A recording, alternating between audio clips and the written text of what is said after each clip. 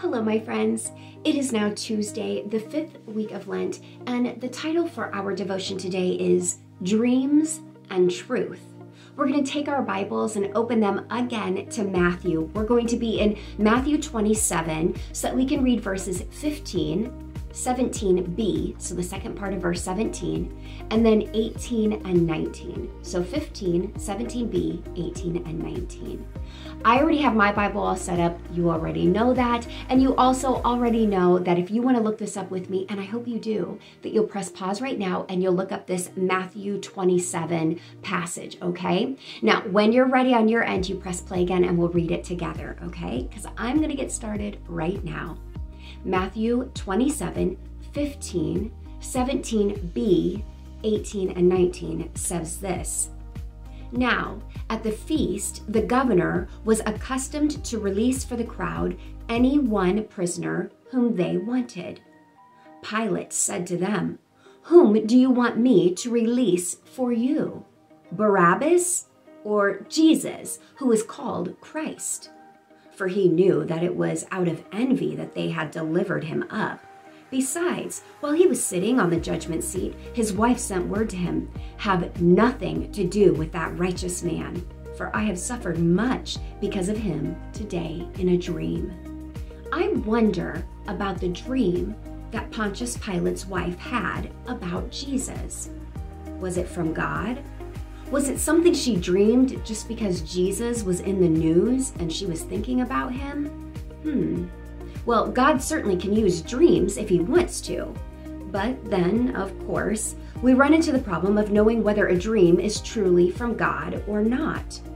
We know if a dream contradicts what we know about God from the Bible, we shouldn't pay any attention to it.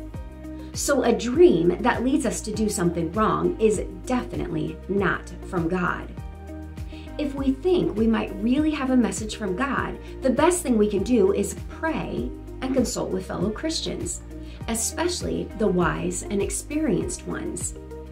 Above all, we put our faith and hope in Jesus Christ, who laid down his life for us and rose from the dead to make us God's children. No dream is as important as him. Jesus is the heart of everything for us. Let us hold on to him, for he is certainly holding on to us. Let's pray. Lord Jesus, keep our attention fixed on you forever. In your name we pray. Amen. Amen. Oh, friends, so now here are the three questions that we're going to think about and discuss with those around us after this video ends. The first question is this Do you find dreams and prophecies exciting or scary? Hmm. Second question Do they draw you closer to Jesus or further away? Hmm. And now here's the third one Have you ever had a dream you thought was from God? Hmm.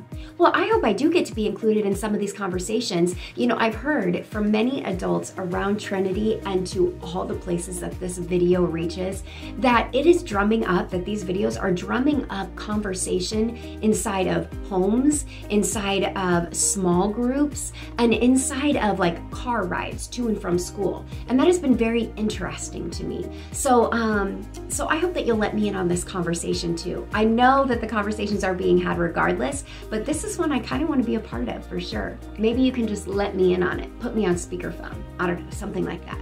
Anyway, I love you so much, friends, and I'll meet you back here tomorrow. Bye.